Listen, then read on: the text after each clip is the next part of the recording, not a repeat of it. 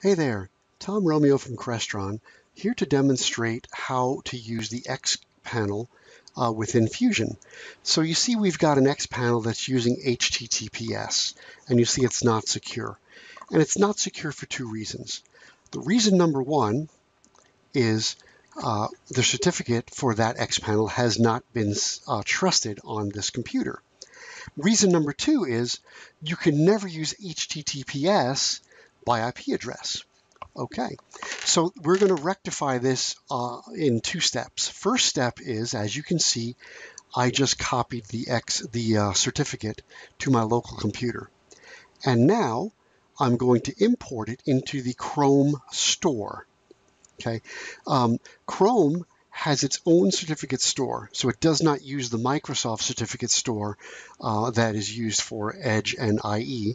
Uh, Mozilla also uses its own store, and so does uh, Apple for uh, Safari.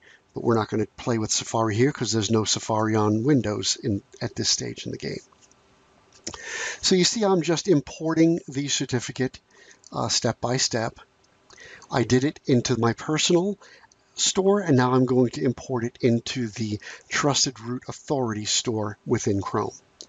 After I do that, I'm going to do the same exact thing uh, in the Microsoft stores.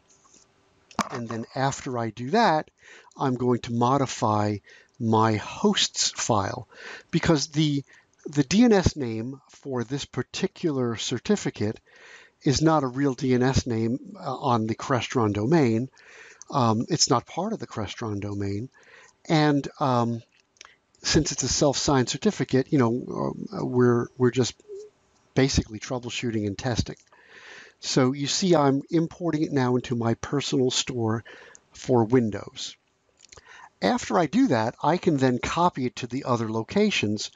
But in order to copy it, I have to know the name on that certificate. So after I do this, we're going to investigate that certificate a little bit because I don't know which one it is on that list. So as you can see, it is the CP4 certificate. So now we're going to look at it. You're going to see inside there, see it's got a valid date range. We're going to open up uh, one of these nodes and you see there's the DNS name and that is the name that we're going to store and associate to the IP address inside the hosts file. Once we've done that, uh, then we can use um, the host name to get to that X panel rather than the IP address. And you'll see right away in Chrome, but just by changing it to host name, because it's a trusted certificate, you see how it doesn't say not secure anymore. We have the lock, so it's good now. So now the next part of this demonstration is going to be an edge like I said, I don't want to um, clear the cache in Chrome, and I'm not sure if I have to clear the cache in order to, to do the rest of this demonstration.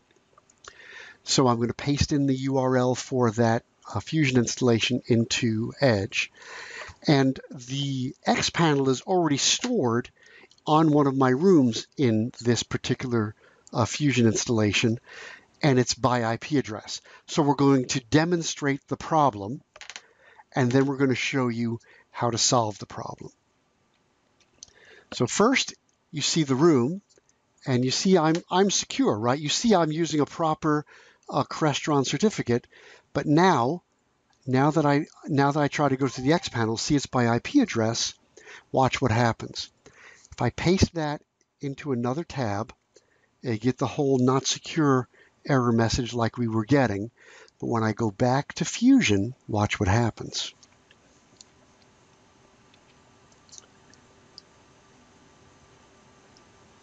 Now you see Fusion also has the same error.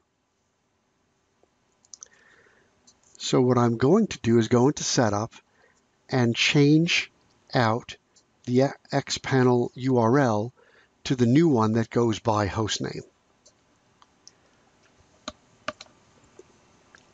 And now that I've done that, watch when I go back to monitoring, you see I still have the error. It says not secure. No matter what tab I go to, that error won't go away until I actually close uh, Edge. So I'm going to completely close Edge. and then go right back in, and you see there's my host file. I'm going to go right back in, and now you're going to see everything load perfectly.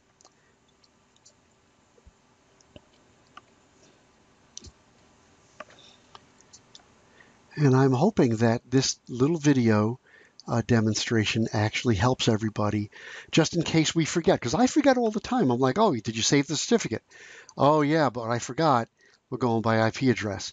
I forget it all the time.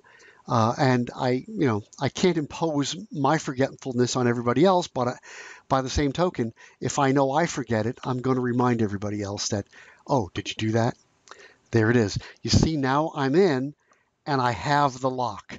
And that is the demonstration that I wanted to show you.